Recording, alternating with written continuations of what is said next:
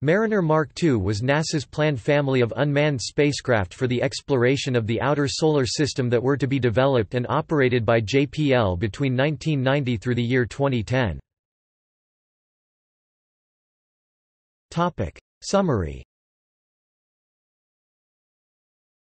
After the flagship multi-billion dollar missions of the 1970s, in the 1980s NASA was looking for a new, more affordable direction for the 1990s and beyond. Two projects were conceived by NASA's Solar System Exploration Committee in 1983, the Planetary Observer Program, and Mariner Mark II. The Observer program, starting with the Mars Observer, was envisioned as a series of low-cost missions to the inner solar system, based on commercial Earth satellites, while the Mariner Mark II was to be a series of large spacecraft for the exploration of the outer solar system.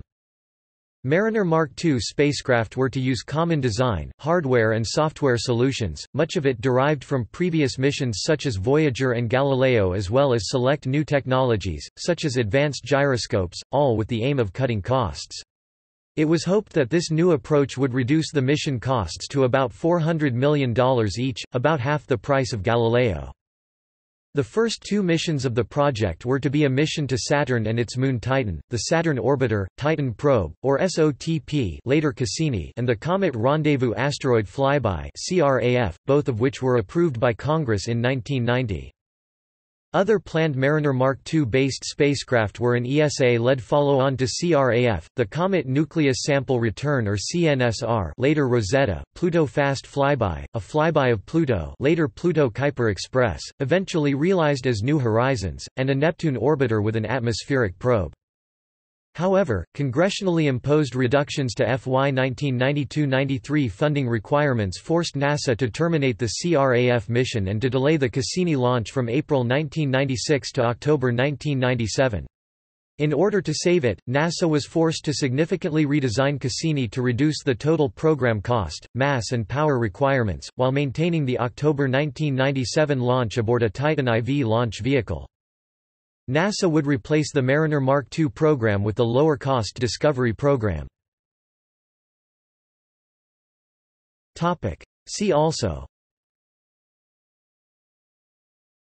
Mariner program Voyager program Pioneer program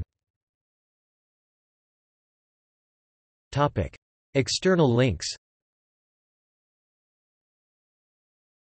Assessment of CRAF and Cassini missions by Dr. Robert O. Pepin, Chair of the Committee on Planetary and Lunar Exploration of the National Academy of Sciences, 1988.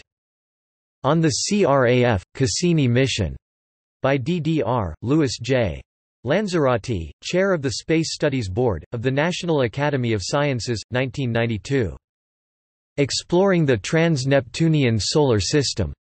National Academy of Sciences